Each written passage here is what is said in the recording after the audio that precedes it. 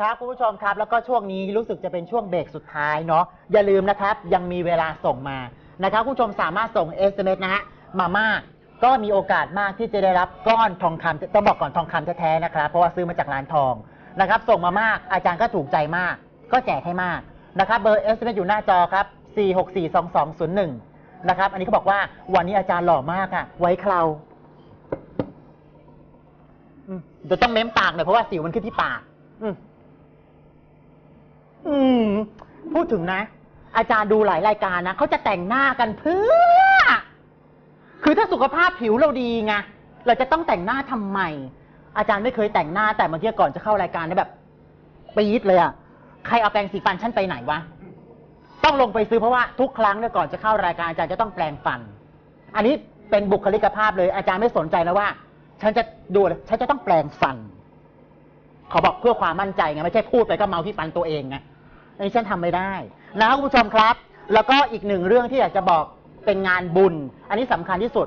วันอาทิตย์ที่ 31 นะครับ พฤษภาคมนะครับ อาจารย์เปิดบ้านแจกฟรีนะครับนะครับเปิดบ้านแจกฟรีนะครับ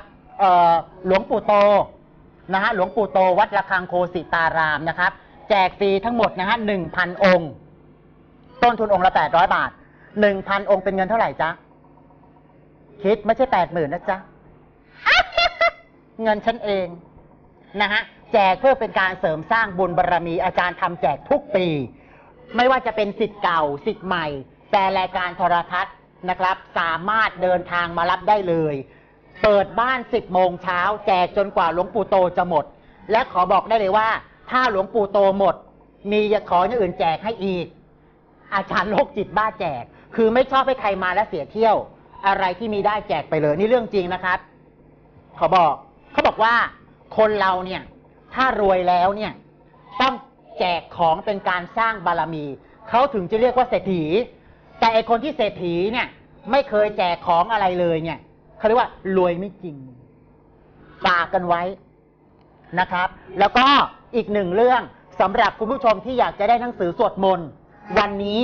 นะครับ วันนี้เนี่ย อาจารย์ได้จัดพิมพ์หนังสือสวดมนต์หนึ่งพันเล่ม ยังไม่ได้จ่ายตังค์เขาเลยค่ะบินยังอยู่ในกระเป๋าเลยค่ะ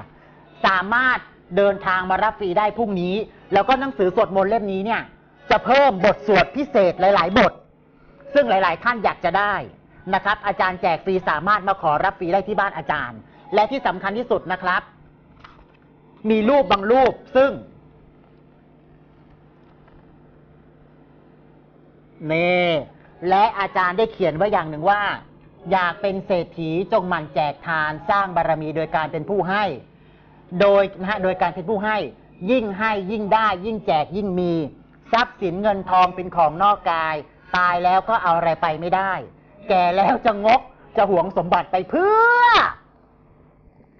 แล้วก็บทสวดเขาบอกว่าตัวหนังสือใหญ่มากนะครับครบเซตเลย และก็มีวิธีบูชาเทพเจ้าสิ่งศักดิ์สิทธิ์ต่าง ๆ เลยนะครับ อาจารย์แจกฟรีทั้งหมด1,000เล่ม คุณผู้ชมที่อยู่ต่างจังหวัด นะครับ เราก็ให้ญาติที่อยู่ในกรุงเทพมาขอรับฟรีได้นะครับ อาจารย์เนี่ยเขาเพิ่งมาส่งวันนี้ตอนบ่ายๆ1,000เล่ม ยังไม่ได้จ่ายตังค์แต่ก็ไม่เป็นไร ไม่ได้ซีเรียสค่อยๆหาไปเรื่อยๆ ไม่เป็นไรนะครับ มารับฟรีได้ อันนี้เป็นหนึ่งกำลังใจที่อาจารย์อยากจะแจก เพราะเจตนารมณ์ของอาจารย์อะไรที่ช่วยสังคมได้ช่วย อะไรที่จะให้คุณผู้ชมเนี่ย ได้ข้อคิดอะไรดีๆ เนี่ยเกี่ยวกับธรรมะ ก็มารับไปมาแบ่งไปนะครับ แล้วก็คุณผู้ชมสอบถามมาเยอะเกี่ยวกับตะกุดมหาสะท้อนย้อนกลับ ต้องบอกว่าตะกุดมหาสะท้อนย้อนกลับเนี่ยหมดไปตั้งแต่เมื่ออาทิตย์ที่แล้ว พอดีเนี่ย อาจารย์ก็ เอ้ยเจ๊มึงมีกี่ดอกไอเฮียมึงมีกี่ดอก พี่มีกี่ดอก เอามาเถอะไม่ต้องใช้เอามาแบ่งๆให้คุณผู้ชมได้บูชาไปนะครับ ก็ได้มาอย่างละสามสี่ดอกสำหรับคนที่ดวงตกนะครับ ดวงไม่ดี นะคนกันแกล้งเรานะครับ มีปัญหาร้อยแปดจิปาถะนะครับ หรือว่าเราทำทำดีๆ แล้วเนี่ยจะต้องมีคนอิจฉากันแกล้งเราใส่ลายป้ายสี อันนี้สำคัญที่สุด ควรจะมีตะกรุดมหาสะท้อนพกติดตัวไว้ เสริมดวงชะตาเป็นสิริมงคล อันนี้ปิดทองคำแท้นะครับ ปิดทองคำแท้แล้วก็มีวิธีบูชาด้วย ก็ดอกละสามพันบาทเท่านั้นนะครับ แต่ถ้าคนเงินน้อย ดอกละหนึ่งพันบาท ดอกเล็กไม่ได้ปิดทองคำมีวิธีบูชาด้วย เขาบอกว่าคือถ้าไม่ดีเนี่ย อาจารย์คงไม่พกติดตัวตลอด และอาจารย์มีดอกใหญ่ แล้วก็อย่างนี้ด้วย ขนาดดอกอย่างเงี้ยอยู่ในรถเบนซ์ลูกศิษย์ยังขอเอาไปเลยก็เรื่องจริงนะครับ แล้วก็มีอีกหนึ่งอย่างสำหรับคุณผู้ชมเนี่ย ที่นับถือพระแม่กวนอิมนะครับ แล้วก็สุขภาพร่างกายไม่แข็งแรง องค์นี้เนี่ย อาจารย์บูชามาตอนสมัยเด็ก ๆ พระแม่กวนอิมองค์นี้ปางรักษาโรคนะครับ สวยไหมสวยไหมเจ้าโอ มากอะนะครับ ถ้าผู้ชมอยากจะได้นะครับ องค์นี้เอาบุญบารรมีของอาจารย์ไป แล้วเงินตัวนี้อาจารย์ก็ไม่ได้เอาไปไหน บุญต่อบุญนะครับ 1,800 บาทมีองค์เดียวปางรักษาโรคแล้วก็พระแม่กวนอิมอีกสองปางนี้อยู่ซ้ายขวาของอาจารย์ 30 กว่าปีนะครับ มีหลักฐานนี่ 30 กว่าปี ดูรูปนี่ เห็นไหมครับสององค์นี้ซ้ายขวากล้องจากน้องโอจ๋าเห็นไหมครับเนี่ยสององค์นี้เห็นไหมฮะเนี่ยเห็นนะคุณผู้ชม เนี่ยสององค์นี้วันนี้อัญเชิญมา ก็สามารถโทรศัพท์มาสอบถามได้นะครับ ว่าอาจารย์ให้ทำบุญองค์ละเท่าไหร่ มีแค่สององค์เท่านั้นนะครับ ก็ร่วมด้วยช่วยกัน ไม่พร้อมไม่เชื่อไม่ศรัทธาอย่านะครับ เงินทองหายาก และสำหรับคุณผู้ชมที่เก็บเงินเก็บทองไม่อยู่นะครับ เราควรจะมีสร้อยข้อมือหยก หรือจะเป็นกำไรหยกก็ได้นะครับสำหรับคนที่เงินน้อยนะครับกำไรหยกวงละ1,000บาทนะครับ เห็นไหมฮะและถ้าเงินเยอะมีแค่วงเดียววงละ5,000บาทต่างกันไหมต่างไหมจ๊ะ เออเพราะฉะนั้นแล้วเนี่ยแล้วแต่ปัจจัยนะครับ ก็รวมด้วยช่วยกันกำไรเนี่ยเขามีความหมายว่า มีแต่กำไรกำไรไม่ขาดทุน เก็บเงินเก็บทองอยู่เงินทองไม่รั่วไหลไปไหนมาไหน มีกำไรทั้งชีวิตเปิดสายได้จ้ะนะครับ และสำหรับคุณผู้ชมนะครับที่เกิดปีฉลู ปีมะแม ปีจอ ปีมะโรง ถือว่าเป็นปีชงนะครับ ชงก็คือไม่ดีมีปัญหาสะดุดประสักติดขัดหลาย ๆ เรื่องหลาย ๆ ด้าน รวมถึงหน้าที่การงานการเงินสุขภาพไม่ดี ควรจะบูชานะครับ เหรียญกันชงล่มฉัดพระพุทธเจ้านะครับเหรียญละ 1,500 บาทเหลืออยู่ประมาณสักสิบกว่าเหรียญแล้วล่ะนะครับก็สามารถโทรศัพท์มาสั่งจองบูชาได้ ตรงกลางเนี่ยจะเป็นล่มหมายถึงความร่มเย็นเป็นสุขนะครับ ด้านหลังจะเป็นฮูเสริมดวงชะตาเลี่ยมทองไบคอน ที่สุดน่ะนะครับ เดี๋ยวโทรศัพท์มาสั่งจองบูชาเนี่ยเจ๊โยโกะนะครับจะเป็นคนรับเรื่องการสั่งจองวัตถุมงคล เดี๋ยวต้องบอกก่อนว่าเจ๊เขารับโทรศัพท์อยู่คนเดียวก็สงสารเขา60 กว่าแล้วนะครับ แต่ว่าคิวพระรามเก้าพระรามแปดนะฮะแล้วก็ท่านผู้ชมเนี่ยอยากจะได้ความรักที่ดี การงานที่ work พระตรีมุรติมหาเทพ องค์ละ1,000บาทครับเลี่ยมทองไมครอน ว่าจะเอาพระตรีมุรติเนี่ยให้พออเมสักองค์นะเนี่ยตั้งบูชาในห้องที่ทำงานออฟฟิศองค์ใหญ่ๆเดี๋ยวก่อนเดี๋ยวแป๊บหนึ่งนะอันนี้องค์ละหนึ่งพันบาทเลี่ยมทองไมครอนสวยมาก ที่สุดของที่สุดบ้านอาจารย์บูชาองค์เบ้อเร่อเลยใหญ่กว่าคนอยู่ชั้นสามนะฮะก็ร่วมด้วยช่วยกัน และถ้าคนนี้มันกลั่นแกล้งเรา มันฟ้องเราคดีความขึ้นลงขึ้นศาลบูชาท้าวเวสสุวรรณนะครับ หันหน้ายักษ์ใส่เลยนะครับ แต่ถ้าว่าถ้าเราอยากจะค้าขายดีมีโชคมีลาภมีเมตตา หันหน้าเทพเลย หน้ายักษ์หน้าเทพนะครับ รับทรัพย์เก็บทรัพย์พิมพ์ใหญ่ใต้ฐานมีตะกรุดหนึ่งดอกนะฮะองค์ละสามพันบาทนะครับ แล้วก็ถ้าพิมพ์เล็กองค์ละหนึ่งพันบาท work มาก เห็นไหมหน้ายักษ์หน้าเทพ รับทรัพย์เก็บทรัพย์พิมพ์เล็กหนึ่งพันห้าร้อยบาทนะครับ แล้วก็ถ้าเป็นเนื้อเงินทำบุญองค์ละสองพันบาทนะครับ ไม่เชื่อไม่ศรัทธาไม่พร้อมอย่าโทรศัพท์มานะครับ เงินทองหายากของทุกอย่างตรงนี้เหลืออยู่แค่อย่างละสี่ห้าองค์เท่านั้น และอาจารย์จัดสร้างมาไม่ใช่เป็นพุทธพาณิชย์ แต่เป็นพุทธบูชา เพื่อเสริมดวงชะตาของเราให้ลื่นให้คล่องให้เวิร์กนะครับ บุญต่อบุญบารมีต่อบารมี ร่วมด้วยช่วยกันนะครับอะ มีสายเนาะคุณสมหมายครับ อยู่กรุงเทพสวัสดีครับคุณสมหมายครับ ครับสวัสดีครับอาจารย์ครับ อยู่แถวไหนจ๊ะ อยู่แถวรามอินทราครับ รามอินทรากิโลเมตรที่กมแปดกมแปดติดตามดูรายการบ่อยไหมครับ ดูบ่อยครับ ดูบ่อยนะทำไมเสียงเบาจังประมาณผมดูได้ก็ประมาณสิบฟุตบ้างเนี่ยเหรอทำไมถึงต้องดูอีกอะครับทำไมอะพี่ฮาดิครับหาอะไรอะเรานึกว่าไปดูที่ฟันนี่คาบาเร่โชว์ใช่ไหมอาจารย์พูดนี่ เขามีผักบุ้งทอล์กโชว์ใช่ไหมอาจารย์สตรอเบอรี่ทอล์กโชว์อ่าอ้าววันนี้โทรศัพท์ติดมีเลยให้อาจารย์รับใช้ อยากจะถามเรื่องบริวารพี่เกิดพศอะไรเดี๋ยวดูก่อนทศห้าศูนย์สี่ครับสัญญาณไม่ดี สัญญาณไม่ดีสองห้าศูนย์สี่ครับ อ๋อศูนย์สี่ปีฉลูวันอะไรพี่ วันพฤหัสครับ ฟังนะวันพฤหัสครับ โอเครู้แล้วฟัง ในดวงเนี้ยเขาบอกว่า คนที่เกิดปีสองห้าศูนย์สี่ปีฉลูเป็นวัวที่ลำบาก ตื่นเช้ามาก็เอาแล้ว แล้วดวงนี้จะได้บริวารลูกน้องไม่ค่อยจะดี เดี๋ยวเข้าเดี๋ยวออกเดี๋ยวมาเดี๋ยวหายเดี๋ยวลาเดี๋ยวหยุด เป็นอย่างนี้ตลอดนะครับ และปีนี้ยพี่เกิดปีชง จะยิ่งหนักเลย โดยเฉพาะบริวารลูกน้องและสุขภาพร่างกายเป็นอย่างมาก ดวงเนี้ยให้เขายืมเงิน ก็ไม่ได้คืนหรอกครับศูนย์ เขาลิขิตมาอย่างนี้ แต่ถ้าพี่เชื่ออาจารย์ อยากจะให้ชีวิตมันดีขึ้น เราไปร่วมบริจาคไถ่ชีวิตโคกระบือ 500 บาทหรือ 1,000 บาท หรือเราจะซื้อหนึ่งตัวได้ตัวละหมื่นห้าแต่เงินมันเยอะหมื่นห้าเฮ้ยร่วมไปสักสองพันก็ได้ว่ะจบ แล้วพี่กลับมาอธิษฐาน พี่จะพบเจอบริวารลูกน้องที่ดี เจอมิตรที่จริงใจไม่ต้องมาแทงเราข้างหลัง ครับ เขาบอกใส่ผ้าหรือที่คอครับพี่จ๋าหลวงพ่อหลวงปู่หลวงปู่ทวดครับ วัดรุ่นจำไม่ ฟังนะพี่นะ อันนี้เนี่ย เราใส่หลวงปู่ทวด ใส่หลวงพ่อพุทธโสธร ใส่พระพุทธชินราชเนี่ย ท่านเป็นพระอริยสงฆ์ท่านเป็นพระอรหันต์ท่านเป็นพระโพธิสัตว์ท่านตัดอาสวะกิเลสทุกสิ่งอย่างหมดแล้ว แต่เราเป็นมนุษย์ยังต้องอยากได้ใคร่ดีมีกิเลสตัณหา อยากได้ทรัพย์สินเงินทองทำมาหากิน เพราะฉะนั้นแล้วเนี่ย ถ้าพี่เชื่ออาจารย์นะครับครับพี่จะใส่เป็นพระตรีมุรติก็ได้ เป็นพญาครุดก็ดี แต่พระพุทธพระธรรมพระสงฆ์พระอริยสงฆ์เราก็อย่าทิ้ง ครับ เข้าใจยังครับ แล้วจะเวิร์กพี่สูงเท่าไหร่อะอะอยู่ไหมเนี่ย พี่สูงเท่าไหร่ครับ พี่อ๋อสูงร้อยหกสิบเก้าน้ำหนักอะ น้ำหนักหกสิบแปดหกสิบเก้าอืมชอบกินอะไรอร่อยชอบกินอะไรอันมากๆ ชอบกินอะไรมากชอบหรอก็กินทุกอย่างเลยๆ มันต้องมีอะไรพิเศษหน่อยสิ พิเศษเหรอ เออ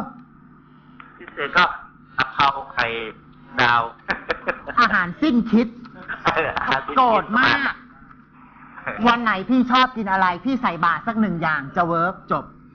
ครับ เทวดาเขาจะเปิดทางให้พี่อะ โอเคนะครับอีกหนึ่งสายครับคุณอะไรเนี่ย ชื่อเรียกยากมาก ทัศชิอะเนี่ยคุณเนี่ยอยู่นนทบุรี สวัสดีครับ สวัสดีอาจารย์ครับ ชื่อแปลว่าอะไรอะทุ่งแห่งความตั้งมั่นครับอาจารย์ แล้วตั้งมั่นมะ ก็มั่นเหมือนกันครับผม เห็นโลเลโลเล ครับผม เบื่อเบื่ออยากอยากครับ เออ ติดตามดูรายการบ่อยไหมครับ ตั้งแต่ช่อง 81แล้วอาจารย์ จริงอะ ครับผมทำไมถึงต้องตามมาดูถึงช่องใหม่ด้วยครับ ขอโทษเพที ราะว่าชอบอาจารย์เวลาอาจารย์สอนแบบเออ ให้กตัญญูกับพ่อแม่แล้วก็สอนถึงความเป็นจริงในโลกที่แบบ ที่เราต้องอยู่ครับผมชื่อเนี้ยก็จะชื่อนี้ใครเปลี่ยนให้ ครับผมชื่อเนี้ยใครเปลี่ยนให้ครับ เออเพื่อนเปลี่ยนให้ครับผมเก่งเนาะ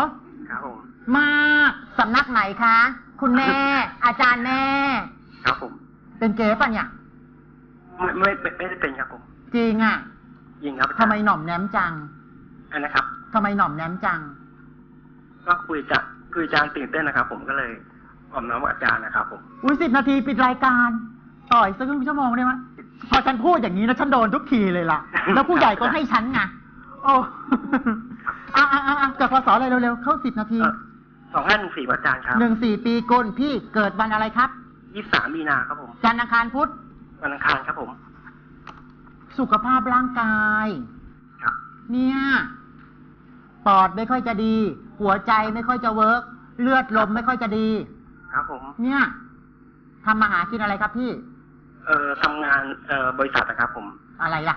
เกี่ยวกับเอ่อเป็นมูมูลที่ช่วยเหลือสัตว์นะครับผมอาจารย์ โอเค สมแล้วล่ะเขาถึงได้โลกสวยถ้าผู้หญิงอะโลกสวยหน่อมแนมเขาถึงได้บอกผู้ชายทำไมหน่อมแนมจัง ครับผมเออ ถึงได้บอกเป็นเกย์หรือเปล่าเพราะแบบมันหวานแบบ อาจารย์เนี่ย คนดูภายนอกว่าหวานนะว่าสาวนะ กูไม่ได้สาวนะเว้ย ครับอาจารย์ เออ นี่ อืม ขอบอกเขามีซิกแพคนะอ่าเขาไปฟิตเนสทุกอาทิตย์นะครับขอบอกอืครับผมมอาจารย์ผมต้องทำอะไรต้องถึงของพี่นะครับ พี่หยุดกินหมูหนึ่งอาทิตย์ ครับผมนะครับ และวันไหนว่างสะดวกใจ พี่ไปไหว้หลวงพ่อโต จะเป็นหลวงพ่อโตวัดบางพลีใหญ่ใน หลวงพ่อโตวัดกาลยา หลวงพ่อโตวัดพนัญเชิงก็ได้หรือหรือหลวงปู่โตวัดระฆัง โตเงินโตทองโตโชคโตลาภโตในหน้าที่การงานเพราะของพี่เนี่ยทำงานเหมือนก็จิตอาสาไง คือถ้ากูไม่รักกูไม่ชอบกูคงไม่ต้องไปดูแลหมูหมาตรงนี้หรอก